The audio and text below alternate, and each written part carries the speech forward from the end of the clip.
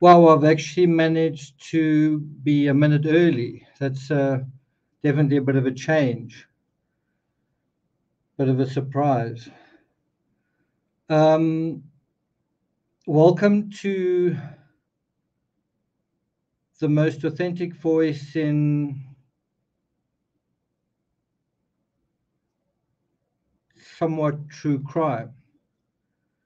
In this episode, we're going to deal with Adnan Syed, and um, we're going to kind of investigate this idea of a narrative that emerges that starts to dictate another narrative. So a narrative emerges, in this case, serial, a social media narrative, which then ultimately does it dictate the actual legal narrative? I don't know the I don't know the answer to that question. I don't know this case well enough to know whether that happened. But we're going to think about that and we're going to look at that. And in terms of that question, this image really stands out to me.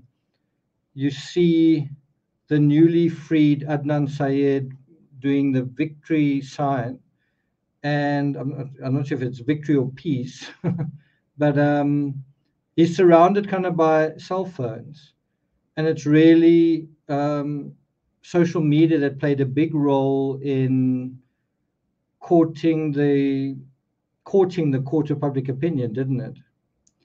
So that's what we're going to be talking about. I want to kind of bookend this discussion with this particular article. It was first written in December 2014, and it says Serial reveals how much more we care about justice for a man than the life of a woman. And we're going to come back to that. So keep that thought in mind. Okay. Just a quick hello to you guys, Karina, Sageti Norna, Sharon. Sharon says, I needed to hear your voice today. Uh, Leah says, I'm just two hours into your live from yesterday, and I want to applaud you for taking a stand in truth and critical thinking. Appreciate that, Leah. Uh, Donna Barnes says, uh, Nick, hello, thank you, thank you always.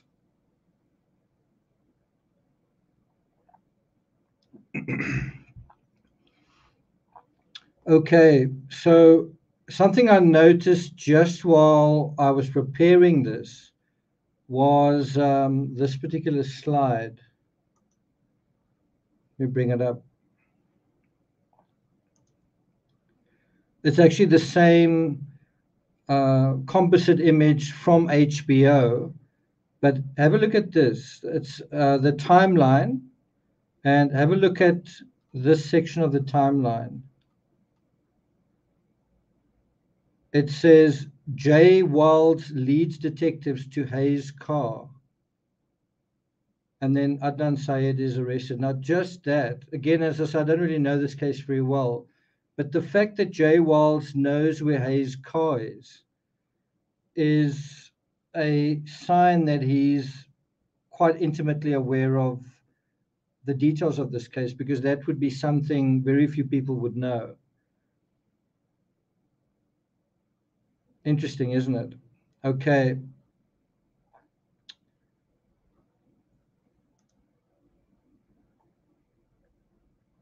So you guys know what has just happened. Adnan Syed has been um, freed, and the um, situation now is that the prosecutors have dropped the appeal. So, so he's now home and away. He's is is free, right? And and that then raises the question: if he's innocent, why why doesn't he sue for wrongful arrest? Because sorry, wrongful imprisonment. So he uh, was released because of a wrongful conviction. And do you think a wrongful conviction equals wrongful imprisonment? If it does, then he is due multiple millions of dollars in, in restitution, right? So let's do a quick poll with you guys. Do, do you think that wrongful conviction equals wrongful imprisonment? So just looking at the poll here, uh, almost 60% say yes, that, that, that does mean wrongful imprisonment. So if you're right, then he should campaign, he should start preparing his lawyers to to sue right now. Um, you know, he stands to um, he stands to gain millions of dollars, right? And has he announced anything like that? I mean, how would you feel if you were wrongfully imprisoned? You you you're innocent.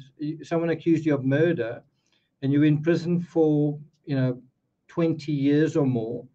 Um, would would you be? Wouldn't you be angry?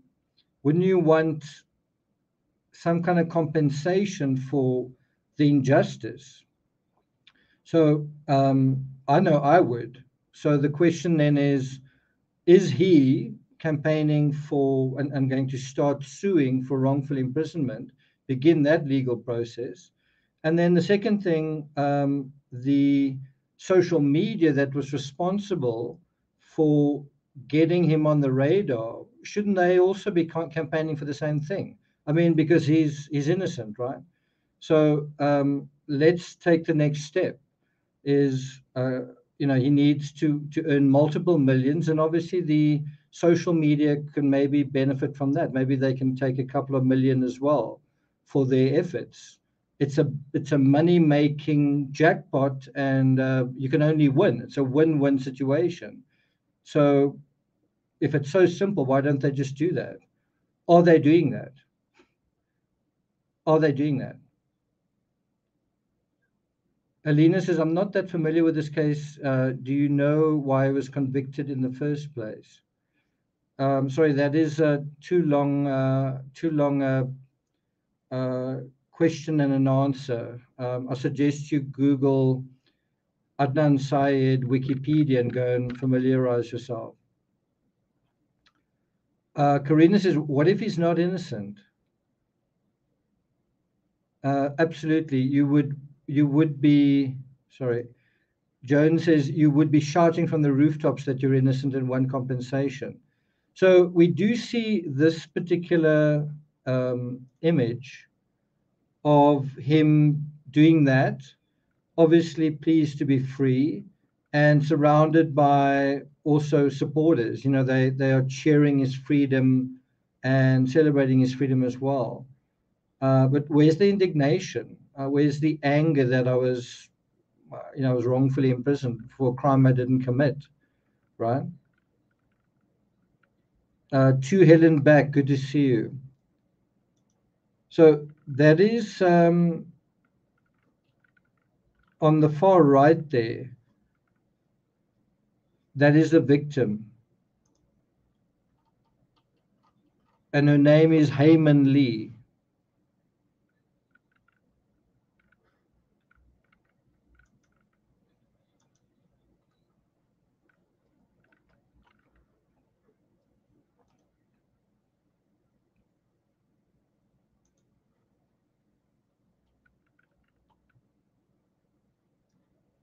And the thing that I want to emphasize is from this article again, it says Serial is the story of who killed Hae Min Lee, a Baltimore high school student murdered in 1999, right? Except Hae Min Lee is dead and so is unable to speak, and her family declined to participate in Sarah Koenig's investigative podcast. So instead, Serial is the story of Adnan Syed, Lee's ex boyfriend, and the man convicted of her murder. In every episode, the first human voice we hear after the recap is Syed himself saying his own name. Whether by default or design, he's the star. The question Serial asks most insistently is not who killed Lee, but did Syed do it? And I think there's another way of saying that. Syed didn't do it. That's what they're trying to say. They're trying. They're asking the question: Did Syed do it? But it's another way of saying I think he didn't do it, right? The question that they're not asking is, okay, so who did kill um, Hae Lee? So it's not investigating the murder of Hae Min Lee. It's investigating all the possible reasons why the murderer might not be guilty or the alleged murderer might not be guilty, right? In other words, it's the defense case and it's a fixation on the defense case. It's not really trying to solve a murder, it's trying to unsolve a murder, right? Does that make sense? Okay, so let's get going. The last time I looked, it was the job of prosecutors, but sometimes it seems, sorry, it was the job of prosecutors to prosecute, but sometimes it seems um, prosecutors see their role as finding reasons not to. I think it speaks volumes the silence of Hae Min Lee's family in the face of the ruckus surrounding this case. I think the cacophony of social media should be seen in the context of the victim's family having absolutely nothing to say, and also the victim's family not participating in this podcast. So let me ask you guys a question. If the serial podcast and if if social media was doing justice for this victim, right? Actually helping to solve her murder. Why would you imagine if family wouldn't be intimately involved, wouldn't care about it? Instead, you've also got to ask why have they not been involved, right? Okay, so I'm going to just do this. So I'm going to need to put my, my eyes a little bit strained today. I'm just going to be reading from, from the screen closest to me. So, according to WJZ, Lee's family criticized Mosby, saying they feel shut out of the justice process. What if I can uh, bring that up?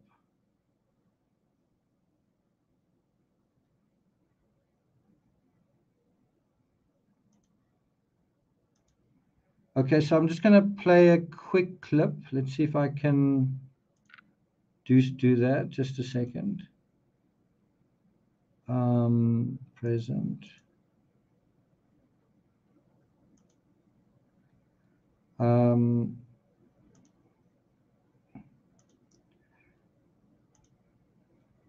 share screen, but also want to share the audio. Share system audio. Okay. Okay, let's see if it works.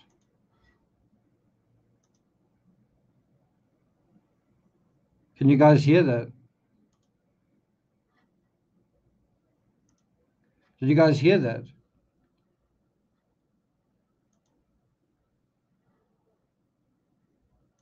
Okay.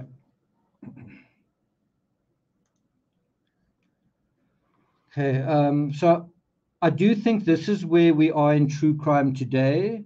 It's not really about truth or justice. It's giving the public, that's the online public, the verdict that they want. And they got it. In this case, they got the verdict that they wanted.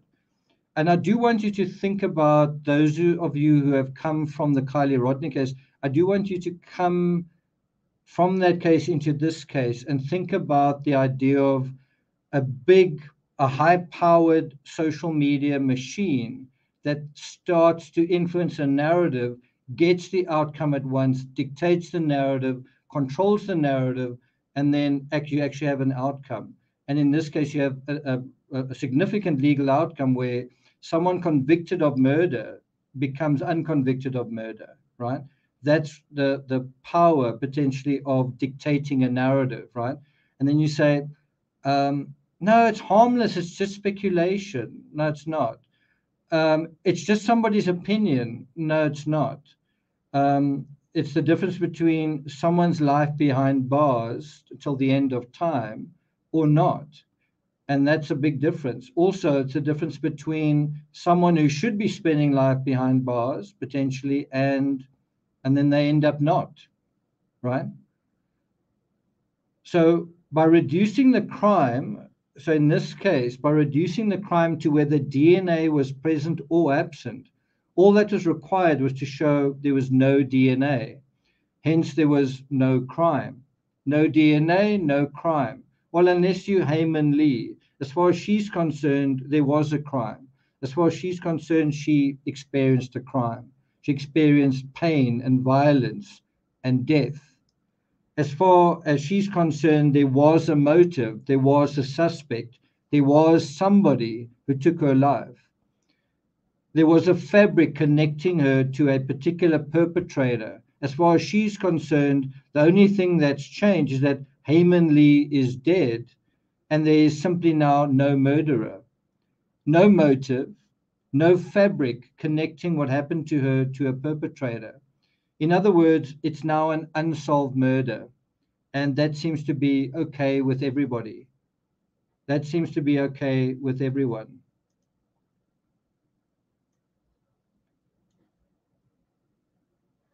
So let me uh, bring this up. Uh,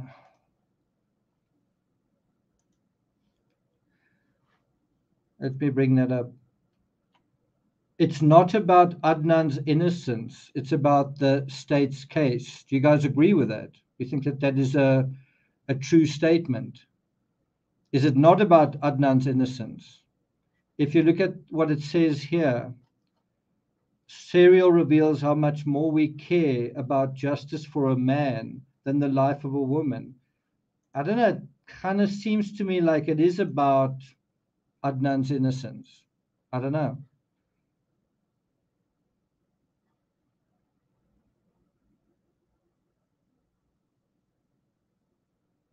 Uh, Brits Creek says the serial podcast came to a pretty neutral conclusion about the case. It gave Adnan a voice, but it wasn't explicitly pro Adnan in my uh, in my opinion. So so what so um not quite sure how to respond to that so so it wasn't explicitly pro adnan but it gave him a voice and it didn't give a vic- the victim a voice and it didn't give the victim's family a voice but it wasn't pro adnan let me um let me read this this thing again right? Hae Min Lee is dead and unable to speak. Adnan is alive and able to speak and able to speak on her behalf and to say what she was thinking, but he's saying it, not her. Instead, Serial is the story of Adnan Syed. It's not her story, it's his story. In every episode, the first human voice is Syed himself saying his own name. He's the star, and the question Serial asks is who killed is not who killed Lee, but did Syed do it? And in a weird way, they're kind of saying, I don't think Syed did it. Do you? Right? And then uh, Ritz Creek says, it's actually not um, explicitly pro Adnan. So, what do you think happens when you give somebody a voice?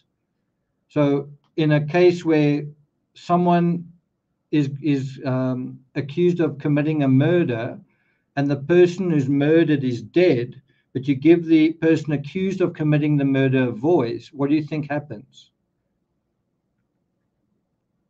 Well, you've seen what happens. This happens. That happens. But no, no, no. It's not. Um, it's not explicitly pro Adnan. Okay.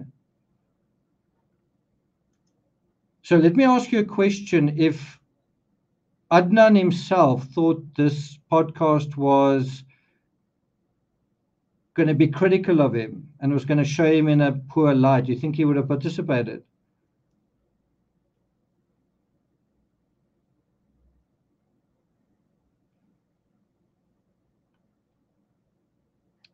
That's it. That is it. Okay, let me continue.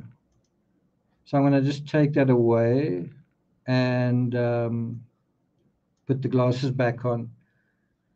So I want to quite quickly just go through the idea of making this case a DNA case, right? As I said, I don't know this case very well, but I do know the law quite well. I do know a lot of high profile crimes quite well, and I know some of the intertextual elements quite well. And that's the aspect that I want to address here. And in in in particular, specifically, this idea of the Adnan Syed case is a DNA case, and so if there's no DNA, uh, he didn't commit the murder, and also like there was no murder, unless of course you're the victim, then there was a murder. But but in terms of him, if his DNA wasn't there, then there was no murder, right? So if you take that thinking, you take that sort of strategy, and you apply it sort of across the board, this is what happens. If we uh, apply the DNA setup to the Scott Peterson case, Scott Peterson should have been released yesterday because the only physical evidence that was found, possibly connecting Scott to Laci Peterson's murder, was a single disputed hair in a yellow needle nose pliers found in his boat. And as I said, it's a disputed hair, so it's not like they found Laci's DNA. They found a hair that they thought might belong to her, maybe, maybe not. So let me show you the that needle nose pliers. Um, bring this up.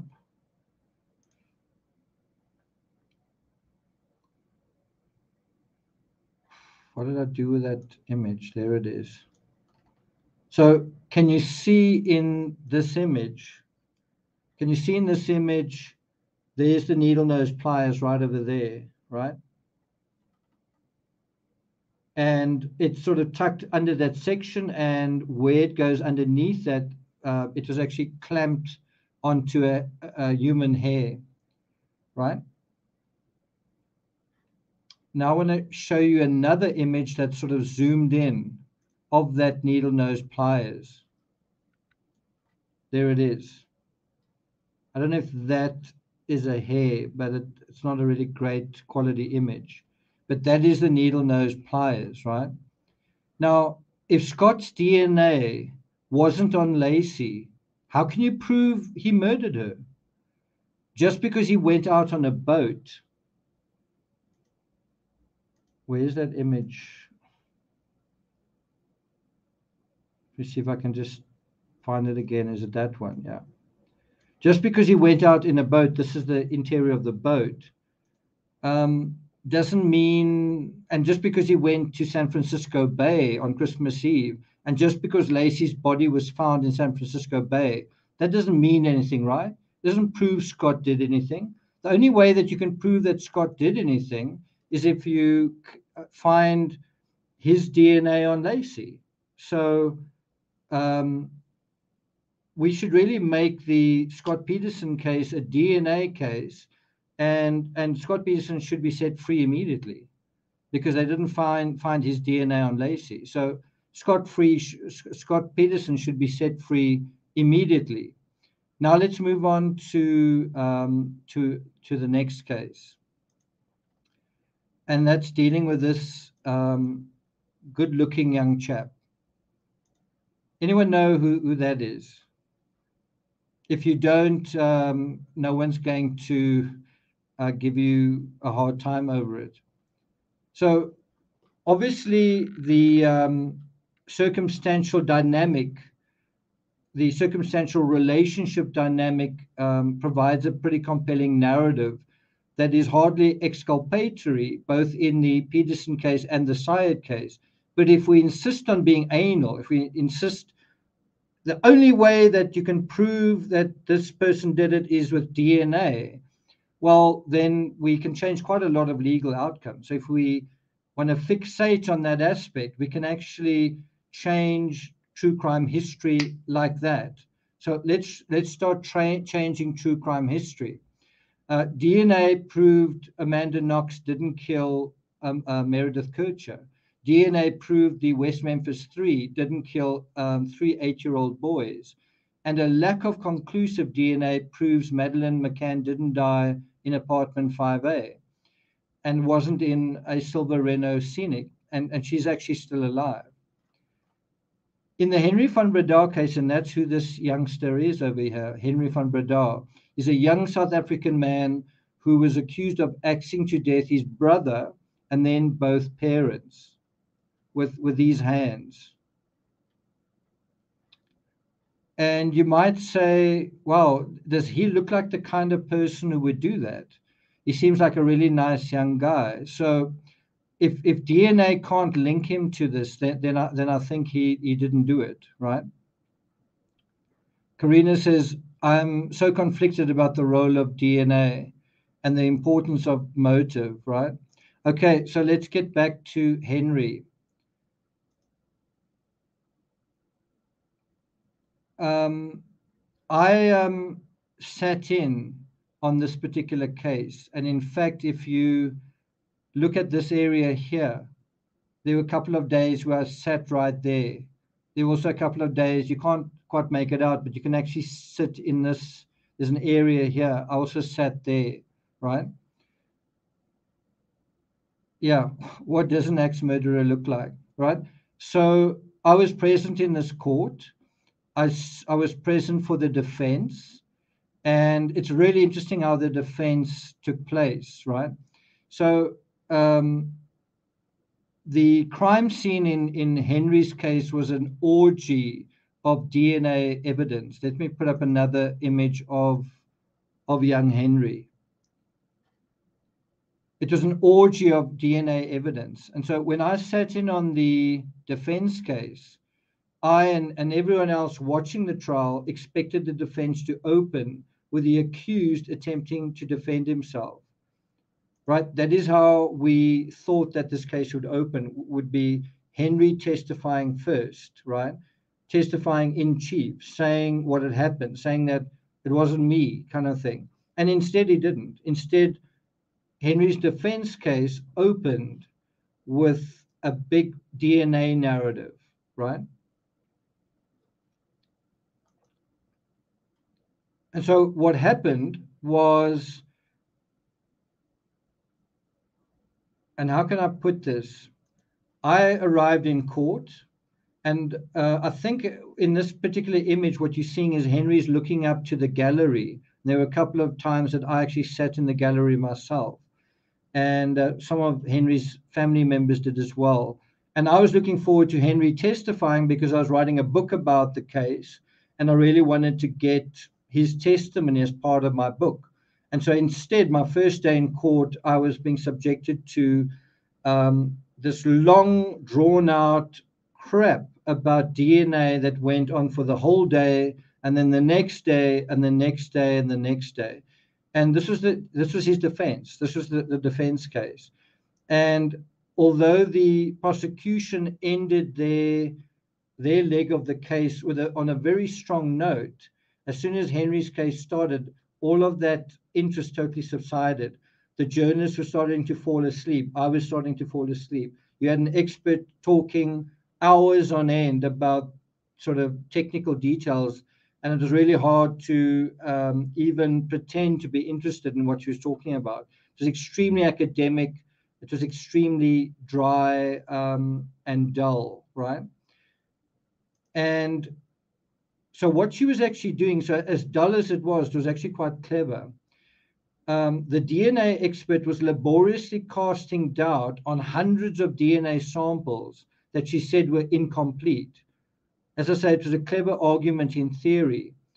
There are dozens of disputed DNA samples, so that must mean an intruder with unknown DNA could have committed the crime. You've got a couple of uh, disputed DNA samples, so that opens a door that unknown space opens the door for um, the let's call it the suspicious narrative.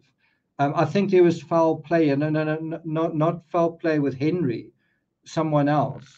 Um, and now let's start thinking about different suspects. It could be anyone. Uh, it could be a gang that was going around that area at the time. Um, it could be, well, you know, you can just sort of use your imagination. Um, but there's a, there's a little hole there, and you can now fill that hole. You know, you get those things at tourist attractions. You get kind of a um, someone's figure, and then there's a face that's missing there. Well, you can put any face you want to in that thing, and that is what the defense are trying to do, which is you created sort of a DNA hole, and then you can just sort of fill that hole with whomever you want to put in there, right? And uh, in other words, you are drawing suspicion away from Henry to someone else. Nobody really knows who it is, but but that's not really the point. You're trying to cast doubt. So so the problem was that there were hundreds of confirmed samples. So and when you've got enough confirmed samples, why would you test for any more, right? Let me say that again in an orgy of evidence, and there was like literally a waterfall of blood in this case. There was like blood all over the place, blood all over everybody, right? There wasn't a lack of evidence. The crime scene wasn't cleaned up, right? Even so, you could sort of argue that all the DNA that you could find didn't really mean anything. Well, let's look at the DNA that you can't explain and let's try and see something there. Um, and so the defense tactic was basically to say, why do you only have, let's say, 30 DNA samples uh, when there are, let's say, um, 20 that are incomplete? Well, I, I, guess you could say when you found a, a DNA sample, should you try and find another 500 when you've already found the sample that you're looking for? And I suppose you could make that argument. You could also say 500 is not really enough. I mean, I think to really make your case, I mean, this was a triple axe murder. Maybe you need 5,000 DNA samples. So you could also argue, you know what, technically it's not really enough. You didn't really get enough DNA at the scene. And because of that, there's uncertainty. It could actually have been somebody else. You needed to have done more DNA sampling, right? That's the ridiculous argument that they were kind of making, right? Are you following? I'm just I'm trying to make the case for how uh, the legal aspect is sort of being twisted, right? So as I say, naturally, if your um, if your narrative is only focused on disputed samples, it might feel as if there's a big enough hole for a phantasm to materialize and to become the imputed intruder and murderer. So let me show you guys a couple of headlines that just makes explicit what this is about. Van Breda's DNA expert manipulated data. So quoting from that article, it says, on Wednesday, Galloway, that's the prosecutor, accused Olckers, that is this um, expert, of contradicting herself by criticizing the state for analyzing DNA samples which she said were below the optimum amount, but then analyzing the same samples herself to contradict the state's findings. Then the judge pressed Olckers for her expert opinion as a scientist, but instead she quoted from the standard operating uh, procedures. So when he asked her a specific question, wanting to know her opinion, instead of giving her opinion, she would defer to standard operating procedures. Here's another article dealing with this particular case. Um, state rips DNA expert CV apart in Van murder trial. Uh, here's another one. Van Breda defense's DNA expert has never worked in a lab. And so what happened in this case was the judge started berating the expert the judge was eventually became visibly irritated that a report had been compiled after key testimony from state witnesses. And he said, It would be really helpful if you produce your report before you could be clouded by the evidence and what counsel told you. Now, doesn't this the same apply in the Syed case? I'm asking you guys a question. Like, a legal question.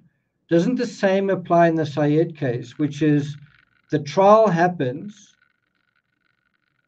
I think 10 or 12 years go by, then a podcast comes along and the podcast knows the knows everything in hindsight.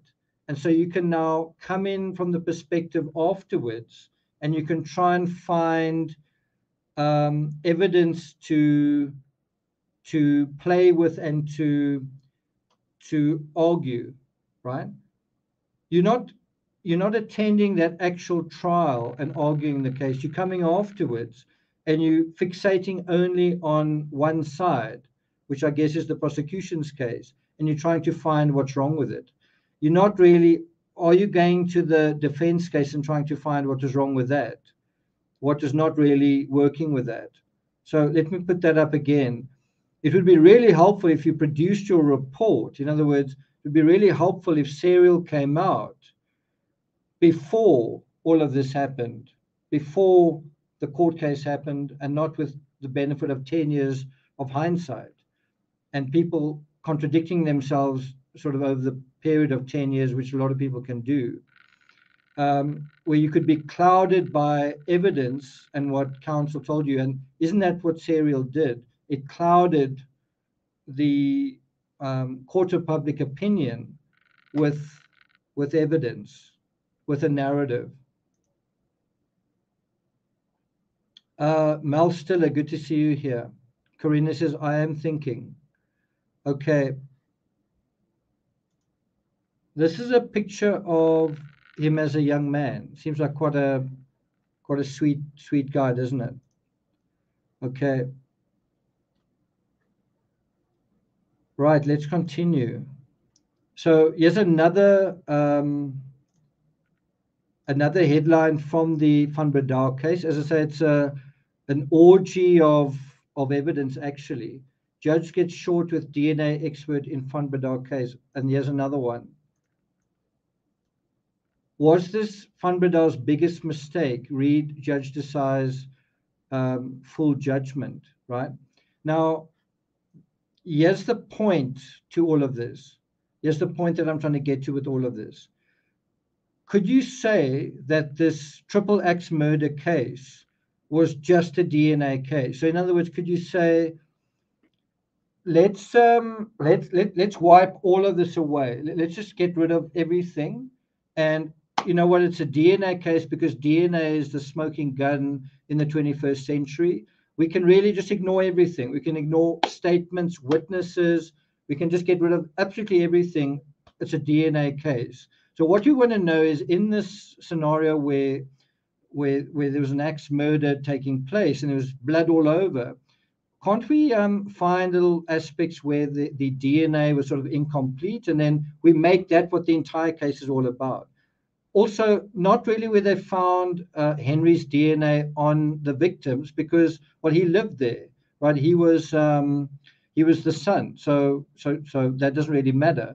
But let's make it a DNA case and let's look at the DNA that we can't explain. So let's make it um, we can't explain that DNA now it's really suspicious. Not suspicious for Henry suspicious for just somebody else. Let's uh, let let's let's concentrate on that right do you think that that would be a um, a good way of proceeding?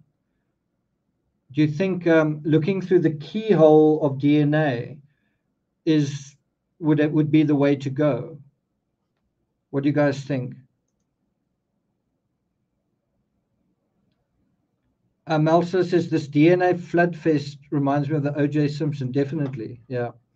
Okay, so I'm gonna, um, yeah, it does look like a quite a clean cut man. When I wrote the book about him, some of my American readers said, I just cannot believe that he's guilty. He's just so handsome. He's such a nice looking guy. He's so sweet.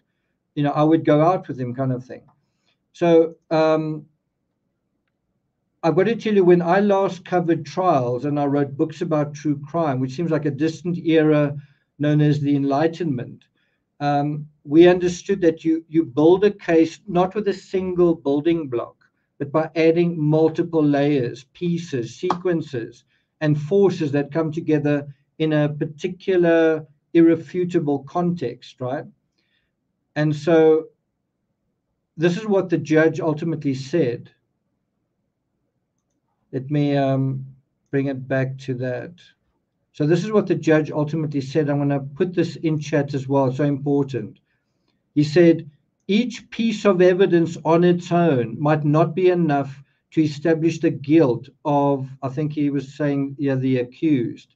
In other words, Van Breda. but the cumulative effect of all the pieces concludes the puzzle. Does that make sense? One piece on its own isn't enough, but the cumulative impact concludes the puzzle.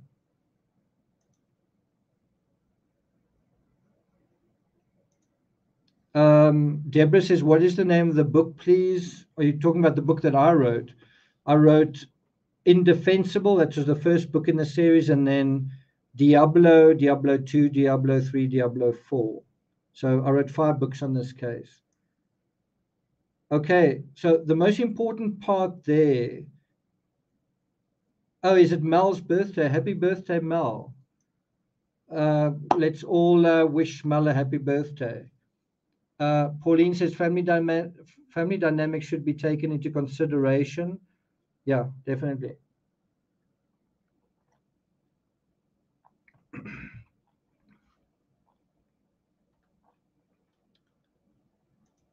Uh, Leah says he was supposedly possessive and jealous, according to her journals.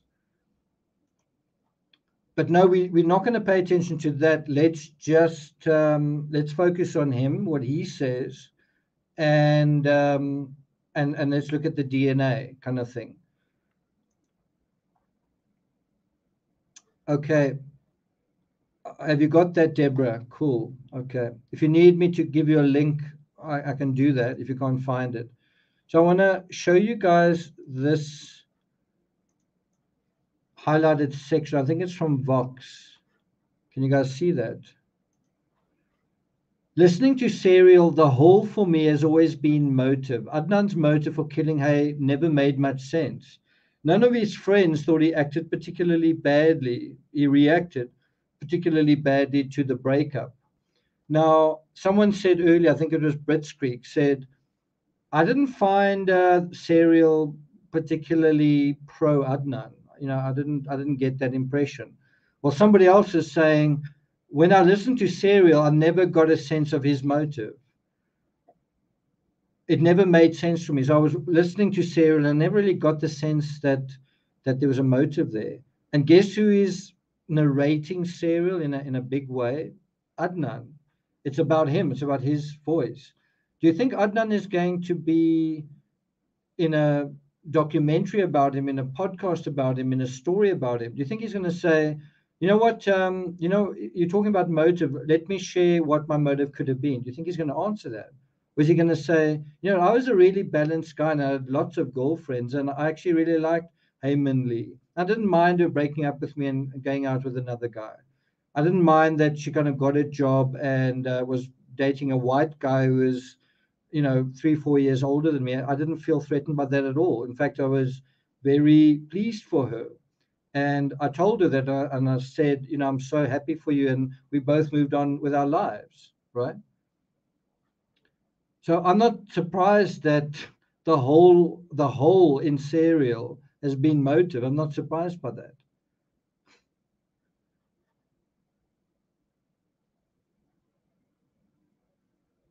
Uh, okay, so just give me a second, Deborah. I'll uh, put a link. The thing is, Deborah, you're in Australia, right? So let me just do the following. Um,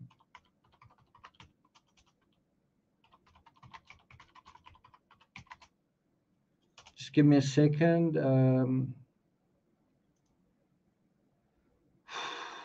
uh, okay, so that's dot .co dot com.au, right? Hope that's going to work. So there you go. This is for you, Deborah. There's the um, there's the link. That's to the first book, but it's actually a five book series. So so if you're interested, just maybe you might want to keep this somewhere. You can keep the um, the link to the five book series as well. There it is. I must say this could be quite a good uh, topic for book club. Is this particular case, which I sat in on? It could definitely be quite quite worthwhile. Okay, let's get back to our story. So now we're going to deal with someone else And remember, we are trying to anally fixate on DNA. If the DNA is not there, well, then you're innocent, right? The DNA is not there, so Adnan's innocent. Well, we've now um, we've now looked at um, Scott Peterson. Well, he should be innocent. We've looked at Henry van Breda. Well, there's disputed DNA. He should be innocent. And now we're going to look at Jodi Arias. What's the DNA narrative in the Jodi Arias case? Do you guys uh, have any idea what it might be? Well, let's have a look. So, as an introduction to what we're saying here, uh, true crime seems to be suffering from extremely fragmented, distracted thinking at the moment. And I don't think it's just true crime. I think it's it's uh, beyond that. DNA, as did you know this? DNA has been recovered from a 70,000 year old Neanderthal fossil, right? So you can get DNA, you can recover DNA from a fossil that's 70,000 years old. You kind of do need the DNA to sort of be sort of inside a tooth or or inside a bone or something like that. You can't have it just sort of lying out um, in a field, right? But it is possible for DNA to actually stand the test of time. Now, sometimes it does seem that DNA is incredibly resilient to the passage of time. And so you might say if someone committed a crime, their DNA is there. If someone didn't commit a crime, their DNA is there. And I think that tends to be the position that many uninformed people take. If you're sitting in court and you're making the case that DNA makes or breaks the case in the Scott Peterson case, the West Memphis 3 case, the Chris Watts case, and the Adnan Syed case, um, when do you actually start to talk about those things that destroy DNA?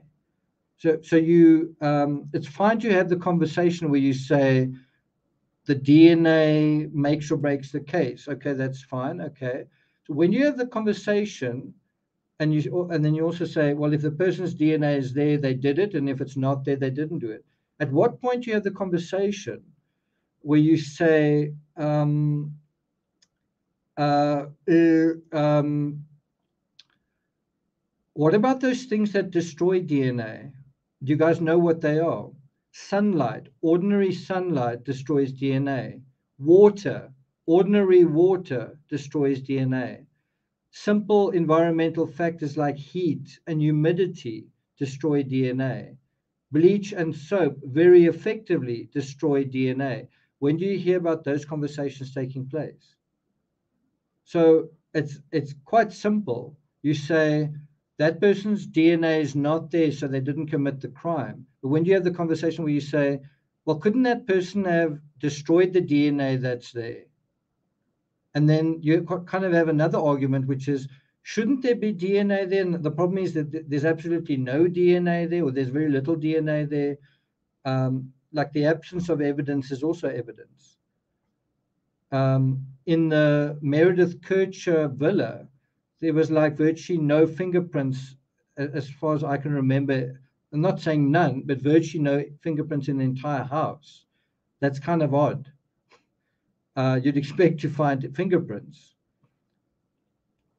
Anyway, let's um, let's come back to this. Um, not sure why my eyes are not doing too well today.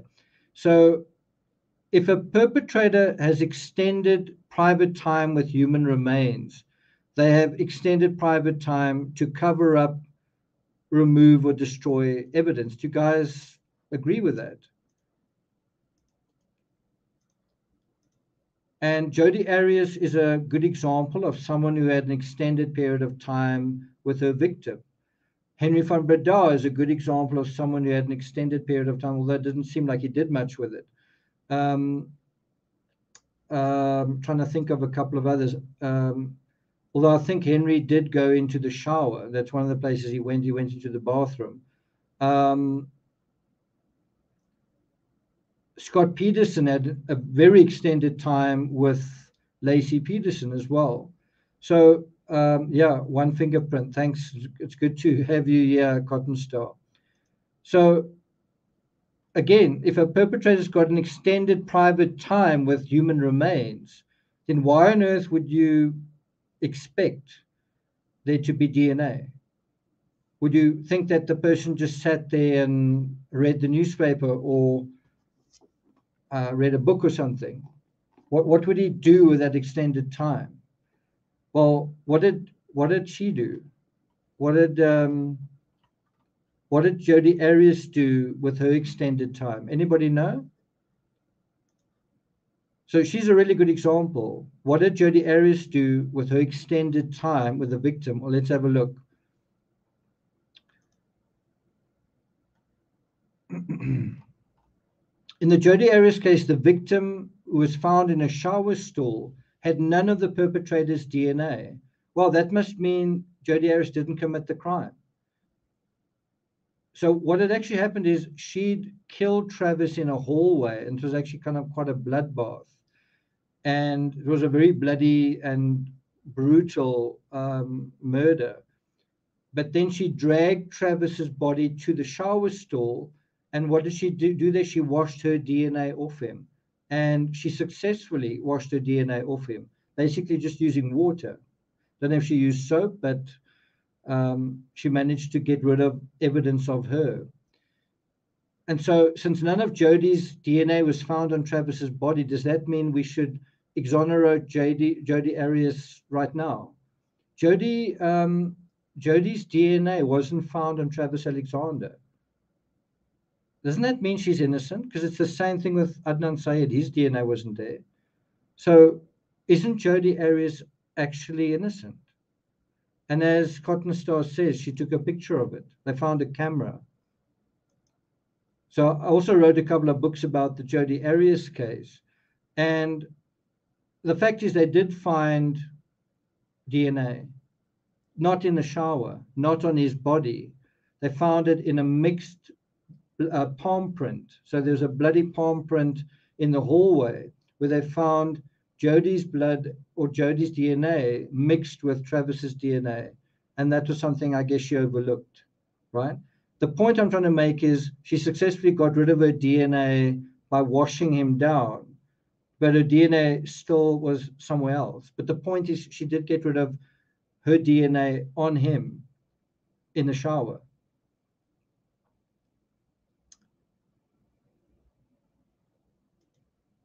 This is the bloody palm print, I think.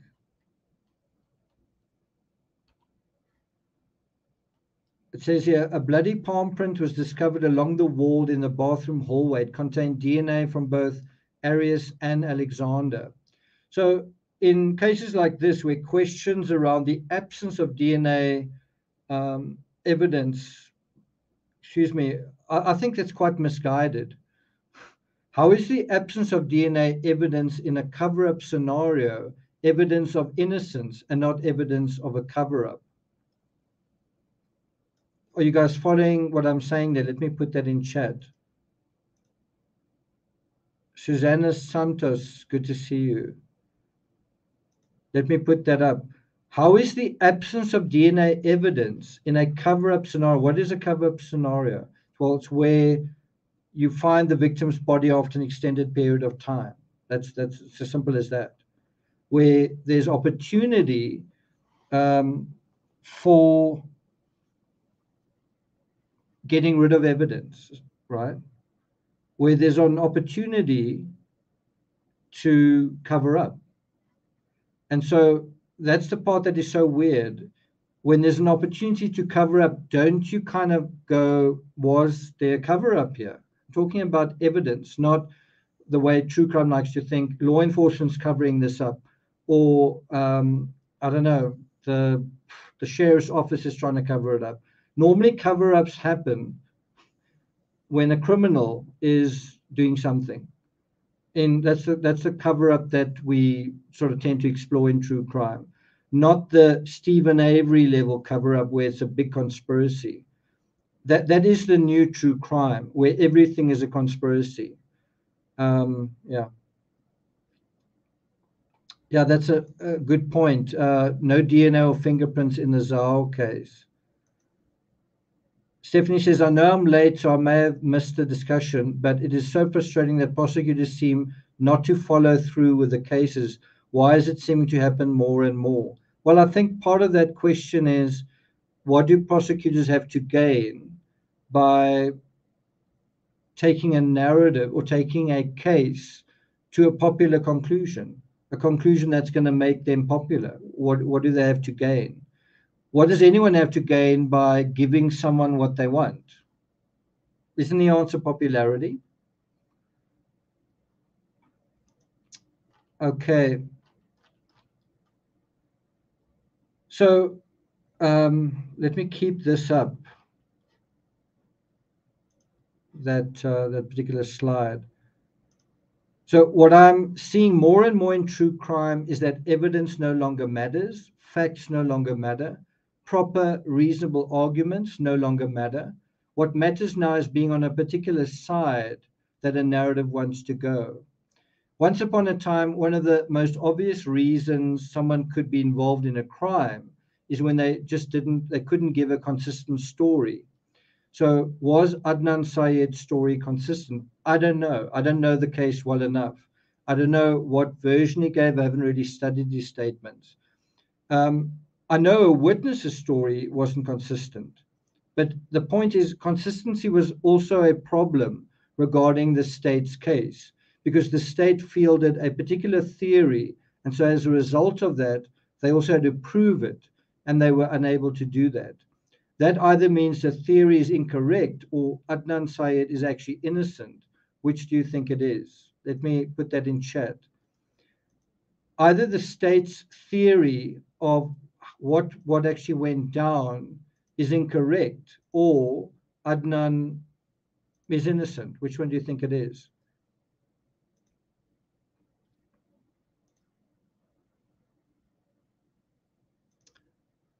And that kind of brings us back to the poll. The poll is Adnan Syed was wrongfully convicted. Does that mean he was wrongfully imprisoned? So far, 63% of you are saying yes. Well, we'll deal with that a little bit later on. Okay, let's get back to uh, the script here. Okay, so I'm, I'm going to put up this link. Can you guys see that? Now, according to this article in EW.com, from EW.com, the state claimed that uh, the state claimed that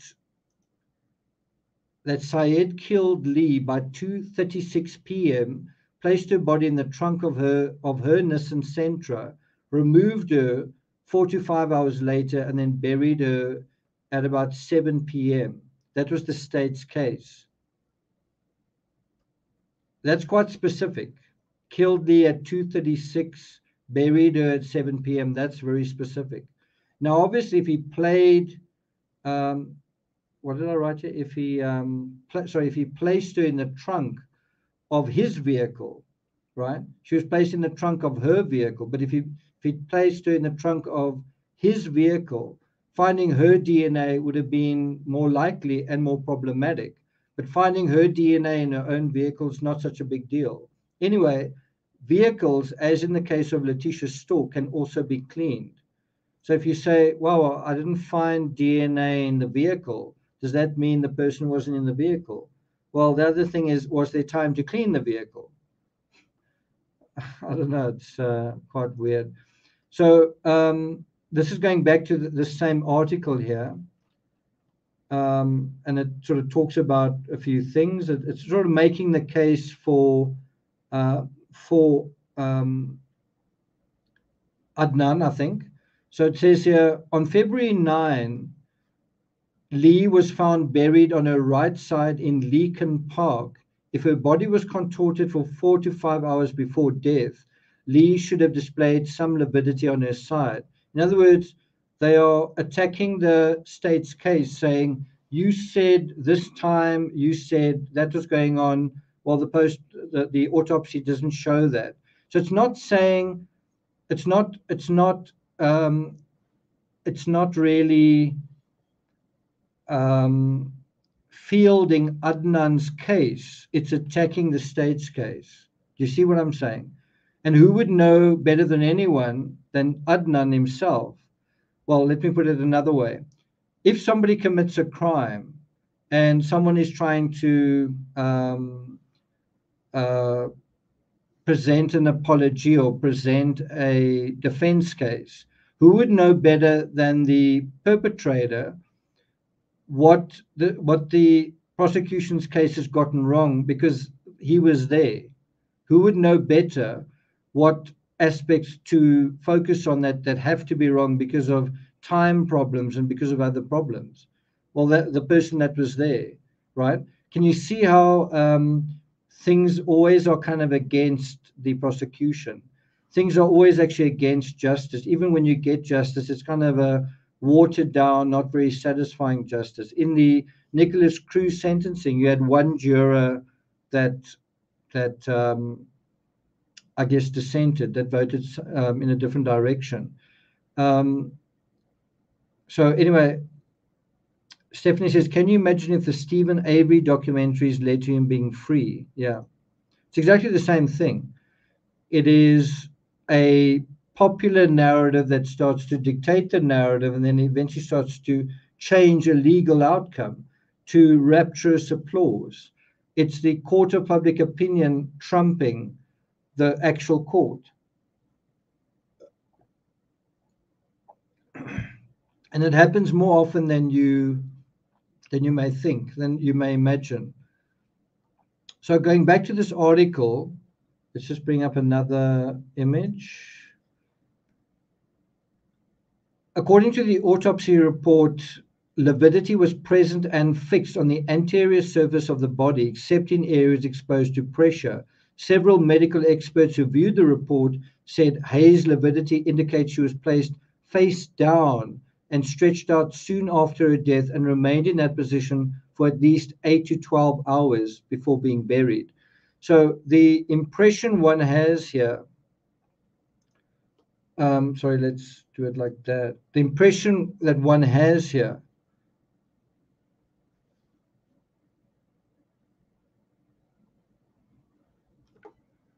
Okay. Digital things, they're quite um, temperamental. Is that the perpetrator had access to human remains for at least eight hours. What did Jodi Arias do while she had access to human remains? What did the perpetrator in the Lee murder do with his access? Can I be honest? I have a very fleeting knowledge of the Adnan Syed case. Also, my impression of the prosecutor is that she's quite young. Just my impression. Um, sorry, let me um, let me bring up this image, this that image. She's the prosecutor. Um, not that youth is a disqualifying factor for good lawyering, just that youth can be ambitious, and ambitious prosecutors in a high-profile case that's begging not to be prosecuted see where this is going. So here's another headline from the Baltimore Sun. Uh, what's going on here? Judge rules prosecutors can't mention previous investigations of Marilyn Mosby at her criminal trial.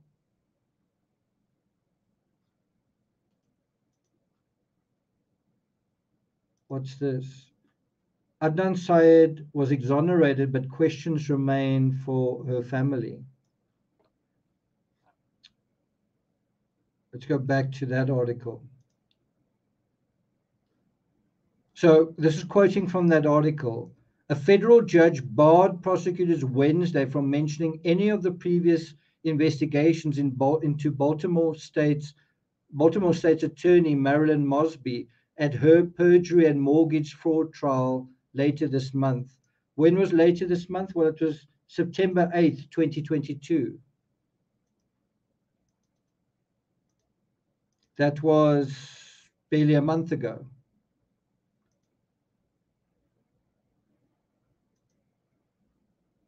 And this is the prosecutor who has not brought charges against Adnan Syed, and everyone's very, very happy about that. And so it also says here um, it's making it harder for the government to introduce Mosby's previous comments about his side business. U.S. District Court Judge Lydia K. Griggsby said during the first of two pre-trial hearings that any mention of previous investigations into Mosby would be very prejudicial at trial. So it's quite interesting how, if you just think about it in a broad way, you've got a prosecutor, and the whole thing is they're saying you may not talk about um, previous um, previous investigations, right? Now, in the Adnan Syed case, well, that's exactly what you're doing. You're talking about previous things that happened with the benefit of hindsight. Well, is that going to be prejudicial to the case? Mm, wonder, I wonder. Um, anyway, it's just funny how the the tide turns, isn't it? So this is um, another article. Marilyn Mosby discusses election, her federal case, and tension with the police union. Remember, this is um, the year that you have midterms in America. So I'm just going to quote uh, from that article. It says, Marilyn Mosby is seeking her third term as Baltimore City State's attorney and looking to hold off the same challenges she beat in 2018. What's the date of this? July 8th, 2022. Now it's happening kind of this year. Mosby told WJZ on Friday that she expects to prevail in the federal criminal case against her, which she is describing as politically motivated. So one does wonder is the thing going on with Adnan Syed, is that is there something political there? Is that politically motivated? Has that become a bit of a political football where you gain points or you lose points? What do you think? Um, her court date, it says here, was September 19 on charges of perjury and falsifying information on a mortgage application. She says, I know I've done nothing wrong. And citizens of Baltimore City will see that for themselves. It goes on to say Mosby rose to national prominence in 2015 when she announced charges against officers involved in Freddie Gray's arrest. Guess when 2015 was? One year after Serial kind of came into its own, right? Do you think Mosby paid attention to that much? Gray, um, so Freddie Gray died in police custody, and then none of the six officers uh, charged were convicted. So she promised um, charges. Well, there were charges, there were just never any convictions. Then Mosby said, We're one of the first officers in the country to attempt to hold police officers accountable for the death of a black man. Now, I'm not, I don't really want to weigh into this, but I kind of get this sense of Mosby is actually targeting, or how can I put it? What I'm seeing in that headline is Mosby, um, uh, I guess, prosecuting policemen in the defense of a black guy. So it's almost like um, government or the police or the authorities are the bad guy, and the sort of guy on the street, I don't want to say the criminal, but the the, the guy on the street is the the innocent victim, right? I'm just saying that's what I'm seeing through a very superficial reading of this. Now, in the JonBenét Ramsey case, you also had a sense that um, not prosecuting was part of a popularity contest, and that the prosecutors in that case seemed to win that contest. In other words, by losing the case, they win popularity. So let me bring up another uh, headline. Um, embattled Marilyn Mosby tries to fend off familiar rivals for third term as Baltimore State's attorney. This is um, also this year, July 2022. Mosby claims a 90% conviction rate, but that figure doesn't include the cases she's dropped before trial. Ever heard that before? Um, you know, if you think about the DA in the JonBenét Ramsey case, what is his conviction rate? It might have been 100% because he maybe didn't take any cases to trial and then he took one case to trial. I don't know I don't quite know. Cotton Star might know what his conviction rate was. Um, she's built a national reputation as a leader in criminal justice reforms, while her support locally has slipped. Now, I do think high enough profile cases can and do and have become political footballs. I don't know what you guys think. In the JonBenét Ramsey case, even the father of the victim attempted to go into politics. So I don't think you can make the case stronger than that. You have a high profile case, and then the, I guess, the former suspect tries to become a politician. Um, politics played a huge role in the Madeleine McCann case.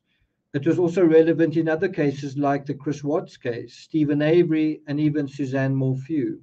So, again, quoting from this, the state's attorney for Baltimore, Marilyn Mosby, said that recently tested DNA completely exculpated Syed from the crime. His DNA was excluded, Mosby said.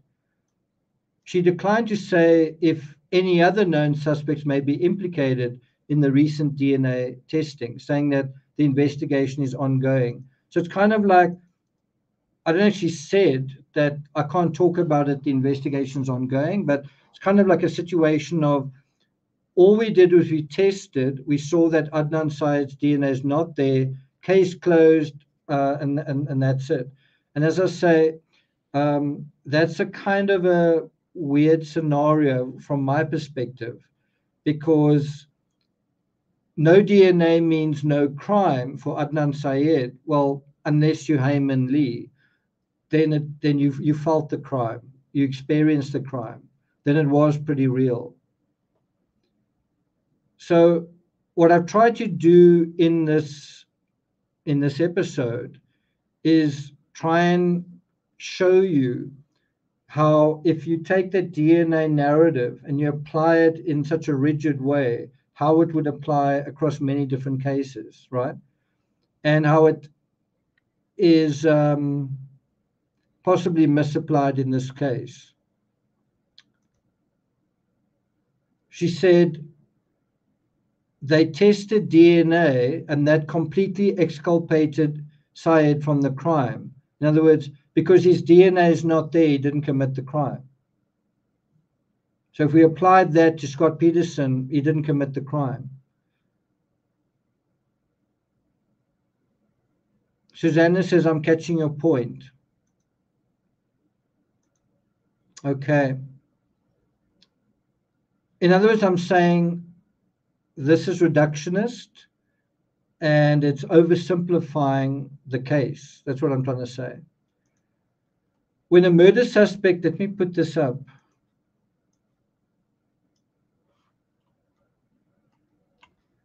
When a murder suspect is completely exculpated, a murder hasn't been solved. In fact, quite the opposite. It's been unsolved. But you wouldn't know it given social media cheering itself on for a job well done. And so there's more I want to talk about this. I really want to deal with this interview. It's a really interesting interview, um, part one, part two. But I'm going to not take it really further than that. I'm going to stop over here. I did a little poll and I want to ask you guys what you think about this poll. So let me, um, I suppose it's okay like that. What do you guys think of that poll? Adnan Syed was wrongfully convicted. Does that mean he was wrongfully imprisoned? And so in this poll, 83% said yes. Let's see what it what it is on YouTube. 60%. So 60%, also the majority, say if you're wrongfully convicted, that means you were wrongfully imprisoned. Do you agree with that? Do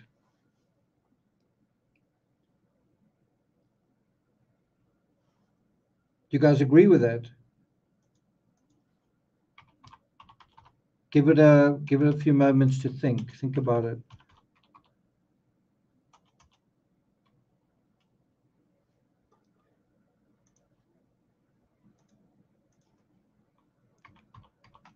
Does a wrongful conviction equal a wrongful imprisonment?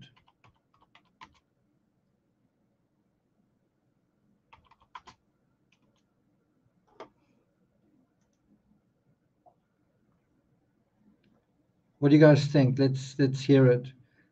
Uh, Joan White says I don't agree. Robbie says no, I've changed my mind. I'm not not quite sure what you're saying there.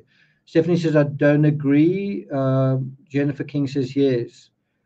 Angel does says I don't agree with the poll.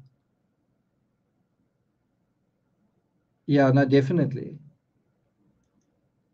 Uh, yeah, it's an oversimplification on steroids in terms of what we said earlier.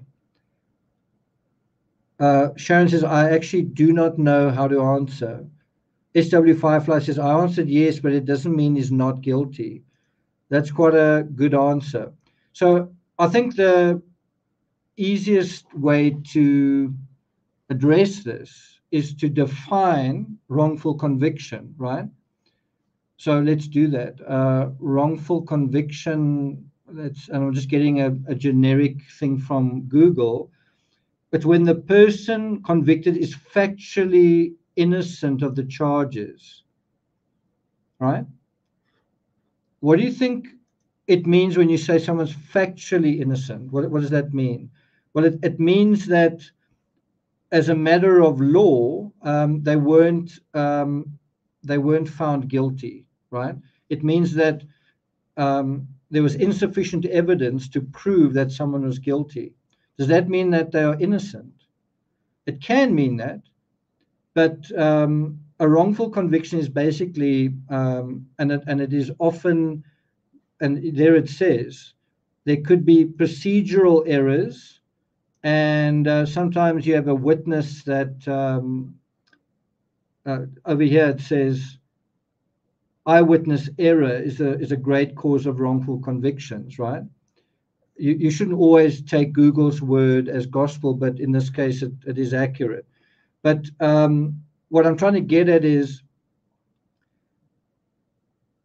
if if um, legal protocols are sort of um, violated, then factually you you you couldn't convict that person. But that doesn't mean that they didn't commit the crime. It means you were unable to properly prosecute the case. In this case, it wasn't just the DNA. The other aspect, I think, was that um, uh, I think they said potentially exculpatory evidence wasn't handed over. And So that was also seen as a protocol violation. So if you think about it in a in a very simple way, Adnan Syed wasn't found innocent because because they fundamentally found that he had an alibi, or they fundamentally found um, that somebody else committed the crime, or they fundamentally found that someone else's DNA was there and he had motive and he did commit the crime and they found the murder weapon. In other words, they didn't exclude him by including someone else. Um, they excluded him by sort of finding procedural problems like, oh, you should have handed that over, but you didn't. Okay. Um, oh, the DNA wasn't there. So, so it's kind of a after the fact way of prosecuting a case, and um, and now it's now it's undone. Now there's going to be no case, right? Do you understand that? So um, a wrongful conviction doesn't mean you're not guilty. It means they failed to properly prove that you um, were guilty. Does that make sense? They failed to properly prove that you're guilty, but that doesn't mean that you are innocent. Right? So now we get on to uh, wrongful imprisonment wrongful imprisonment when a person is intentionally uh, intentionally restricts another person from exercising his freedom. I don't really like uh, these definitions. It's not really what we want to look at. But basically, to address this, um, wrongful a wrongful uh, conviction doesn't automatically equal wrongful imprisonment in the same way that your DNA not being there doesn't automatically mean you weren't there. Um, a wrongful conviction could be a procedural problem, but then the court case that took place at the time did have certain um, grounds, did have certain witnesses and certain evidence and certain um, uh, inculpatory evidence that got you into court in the first place. And you can argue afterwards that the cell phone pings are disputed, or you can argue this, or you can argue that. But at the time that he was prosecuted, um, uh, the law went, I guess, as far as it could go, and and then he was imprisoned as a result of the outcome of that, right? The only way you can get restitution where you say it's wrongful imprisonment is if you can prove that you were innocent. So, in other words, if Adnan Syed truly is innocent, and if those who, those supporters of his truly believe in his innocence, then they should really um, basically go. They should go to the effort to prove that, and they can then get a handsome multi-million dollar settlement, right? Um, it's quite a big if, though. Uh, can they prove that he's innocent? I don't know. Um, but I think the bigger insight here is if they don't, if somebody doesn't, um, how can I put it? If someone doesn't try and make the case for wrongful imprisonment, what do you think that means? So if you went to jail ostensibly for 20, 22 years for a crime you didn't commit, and then you're let out on a technicality or you let out because of popular support, and then you don't sue for wrongful imprisonment, what do you think that that means? So I don't know what the outcome is going to be here. I don't know whether he will. I think the important question to ask now is will he? And if he doesn't, why isn't he? And also, if he doesn't, shouldn't social media put pressure on him to do that because it's not fair? He was in prison for 22 years. Uh, he should get something for that, right? Do you agree? uh, if he's innocent and he shouldn't have been in prison, then he should sue for wrongful imprisonment, right? So, so his um, the social media shouldn't stop where it stopped. Should keep doing that. Do you guys agree? Okay, so remember I said I want to bookend this discussion with this particular article. I'm going to bring it back. I'm going to just read this whole article. I'll put a link in the chat to it. It's quite well written. And I'm going to say I personally agree with the sentiment expressed here. Serial reveals how much more we care about justice for a man's life than for, a, for the life of a woman. Uh, Serial is all about Adnan Syed. You never really hear about Hae Min Lee. You ne never really hear about her. It says, as the podcast tries to investigate whether Adnan Syed killed Hae Min Lee, a discrepancy emerges. It's so much easier to spot the cultural uh, misogyny when it's applied to race rather than gender.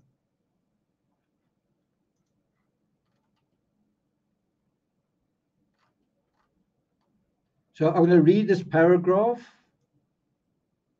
again Serial is the story of who killed Hae Min Lee, a Baltimore high school student murdered in 1999, except Hae Min Lee is dead and so unable to speak, and her family declined to participate in Sarah Koenig's investigative podcast.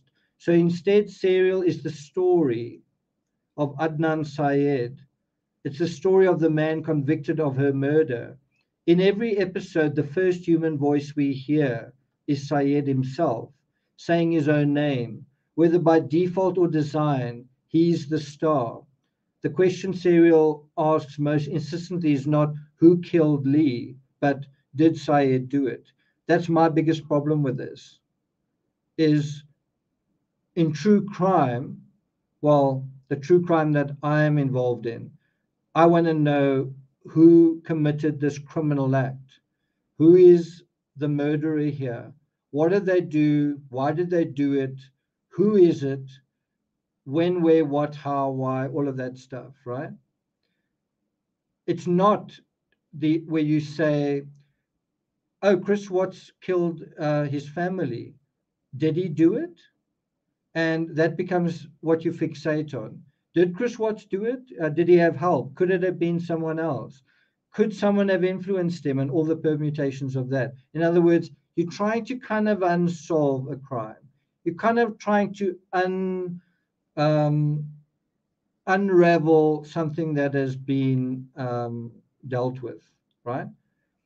You're not asking, you're not trying to investigate a crime. You're trying to kind of nitpick a crime from this from one particular side. Then she says, the answer to that, with one episode still to come, is a big fat maybe, meaning did Syed do it? A big fat maybe, with more than enough reasonable doubt to make Syed's conviction look shaky.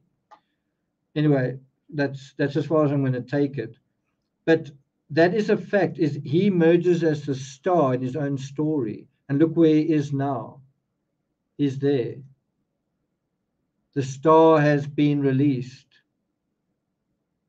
Look how happy social media is.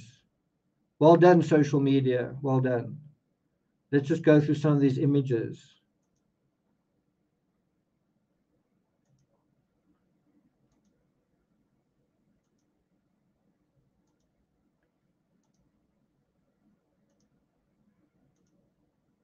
Um, well, there are too many that are mixed up with, with sort of other images. Let's go to this end.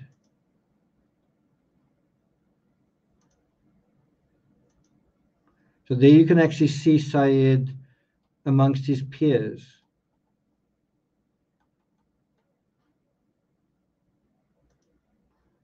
There's Woodlawn High School. Apparently, there's an, a second, I think, HBO documentary coming out. I think it's called The Case Against Adnan Syed, but it's it's kind of a, got a double meaning. It's the, it's like the case against the case against Adnan Syed, I guess. That's how I understand it. Yeah, so from from this from this face to to that face. And so one wonders what is going to be the aftermath to the story. But in sum, what I really wanted to show you guys was first of all the anal sort of approach to DNA, which is far too narrow in my opinion and then also the way that uh, social media can become you can either say it's a monster or you can say it's this powerful force for good which starts dictating legal outcomes. And you can say does it do so intelligently? Is it really bringing about a force for change that is the right force for change? And then you might say look at all these instances where social media changed the outcome for the better and then my question would be, yeah, but how, how do you know? How do you know that it, it's, I know you wanted that outcome. I know it's the popular outcome, but how do you know that it's the right outcome? Does social media know that, or does social media probably not know that? Okay, so I'm not going to take it further than that. Um, uh, Suri Surya says, I really enjoy getting together on these lives. Thanks a lot. Thank you. Um, uh, Stephanie says, I appreciate your comments.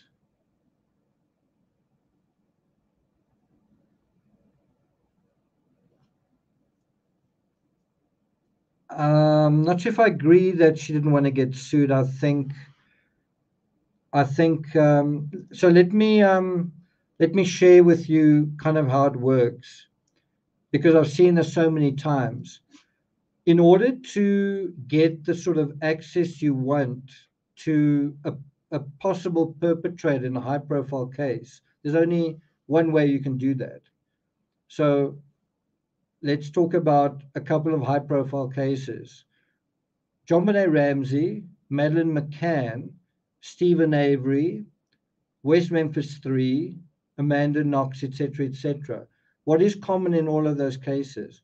Well, what's common in all of those cases is someone came along and made a documentary about these people or one of these people. And what do you think the um, premise of the documentary was? Well, we're gonna, the sun is gonna smile on you. We're gonna tell your story on your terms.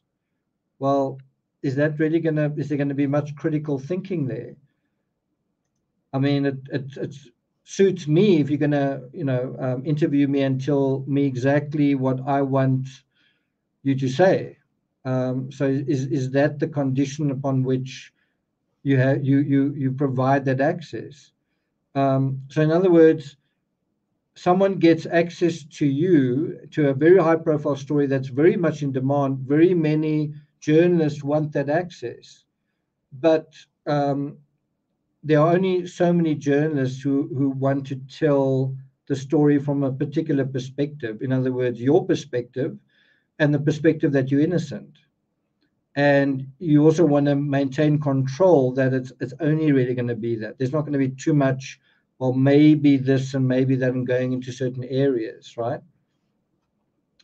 Um, if you think about Chris Watts and the access that a certain author got to him, and then you can imagine the concern well, are you going to tell my story in a way that's going to be favorable to me? Well, Chris Watts made a bit of a boo boo there, but some other people um, didn't. Adnan Syed, in um, sharing his story with this particular podcaster, um, there was definitely a his story got told um, in in a sort of preponderance way. Like, um, how can I put it? Uh, the majority of his story was was was sort of honored, and that is kind of how these stories work, right? So, do you guys see how it works? Um, so, in other words, you kind of have a defense case invariably. You are not going to have someone who's accused of a crime just pouring their heart out to someone who's going to say, you know what, I, I think maybe they're not innocent. There's, there's basically one exception to that, and that was the jinx. And look at what happened. Look what happened in that case. I think Durst thought he was a lot cleverer than he than he really was, and he was pretty clever, but he um, kind of outfoxed himself. Okay, so that is it from me. Um, Su- Susanna says, yeah, uh, Stephanie, are you feeling a lot better now? Yeah, no one has been found guilty of all of those crimes. That's also a good point to make. So, um, who did kill Hae Min Lee? Does anybody care? It feels a bit like O.J. Simpson. Yay, O.J. Simpson's innocent. Okay, well, who who then committed that double murder? I'm gonna don't worry, I'm gonna investigate that for the rest of my life. Okay, while you're on a golf course um, in Florida, um, how are you investigating that? So yeah, so um, is Terry here? Uh, I think she is. Terry says, "Hey gang, I'm at work, but popped in to say hello and hit the rocket button, and also don't forget to put up hashtag team." um, Team Peachtree. So what we're going to do tomorrow is we're going to do a special deep dive in the Kiely Rodni case, but with Terry on board. Terry should be in. Uh, it should be around about, I think, 1 p.m. Pacific time. And uh, what's the other thing? Terry's going to, Terry actually sent me a video that I've never seen before. Um, she sent it today, and uh, she she titled the video, I think, debunking Doug. And uh, it's it's actually a really incredible video. It's just a video from the Prosser campground, and um, it really is really fascinating. It's fascinating to watch it. It's just about I think two minutes long. It's fascinating to watch it, and fascinating to listen to Terry's words. So I'm looking forward to um, to that sort of this time ish tomorrow. So I hope you guys um, enjoy that and, and, and stay tuned for that. Okay, yeah, definitely. Uh, we also want to wish Mel happy birthday and um, and we're glad to see that Stephanie's feeling better. I, I, suppose you ate a couple of peaches that made made you feel better. Yeah, Jinx is a good example. Uh, that is exactly what you're talking about, making the suspect the star of the narrative. Um,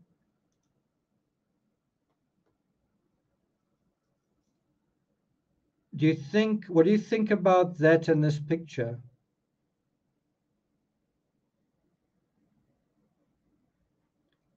And of course, she was present at the trial. Uh, she, she's like present in the photos of him coming out, right? Um, also, right now, do, don't you think um, the media and social media and and she herself see this as a victory for sort of true crime podcasts that that they can um, change legal outcomes and, and and isn't that great um, isn't that what everyone wants right i don't know i'm asking the question I, I don't really follow it so i don't really know what it is okay Mel says, I see politics with a capital P.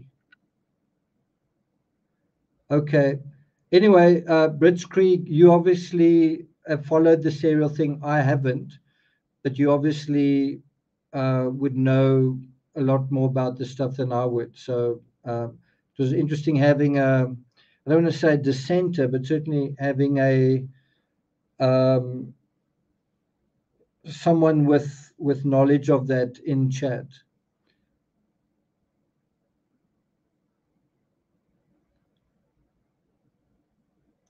yeah, I don't know how to feel about that um, because if you um, weren't sure someone was innocent, but you made sure you got their story, and your story kind of tends to be sympathetic, um, and you're getting millions and millions of views, and ultimately more and more witnesses come forward, witnesses. Um, uh, you know, maybe you say that that, but um, I think it's quite hard, and I think we see, we see this in true crime all the time. Um, when you when your income is based on your um, your bias and the and your income is is being derived from a particular um, narrative that's either popular or not popular, I think that tends to inform your your motives, whether you like it or not. So anyway, I don't know. I, don't know what the answer is. Um, but I'm always um, I'm always a little bit suspicious when people in true crime cover cases and they sort of say, you know what, I, I don't really have an opinion. I don't, I don't really know what to say. In other words, they are sort of sitting on the fence.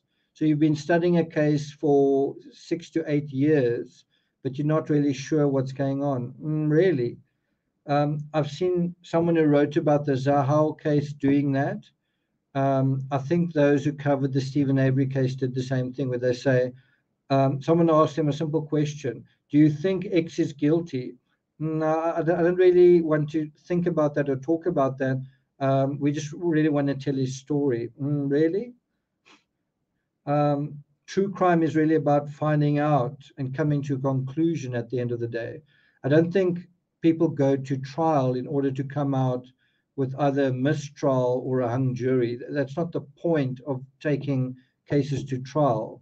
The point is getting justice. The point is coming to a resolution. The point is um, uh, concluding something and getting some kind of closure, not going the whole time I, I really don't know. I've been studying this for six or eight years, and I'm really caught in between. Um, really. Anyway. Uh, thanks a lot, Stephanie. Appreciate it. Uh, I will re rewatch the part that I missed. Tippy toeing, yeah.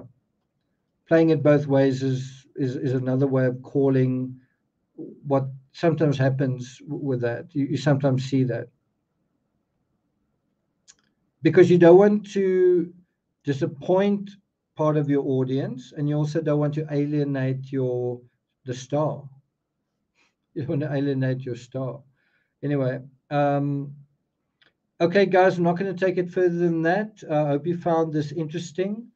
Um timmy is definitely enjoying the asmr aspect.